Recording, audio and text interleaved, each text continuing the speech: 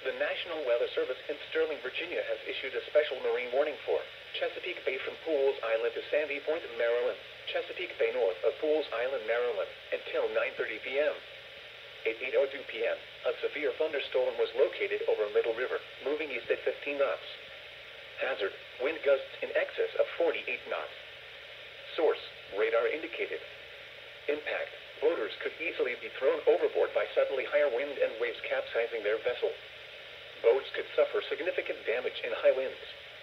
Locations impacted include Turkey Point, Gunpowder River, Northeast River, Worton Point, Pooles Island, Spesutie Island, Aberdeen Proving Ground, Havre de Grace, and Little River. Boaters should seek safe harbor immediately until this storm passes. Wind gusts in excess of 48 knots, high waves, dangerous lightning, and heavy rain are possible with this storm.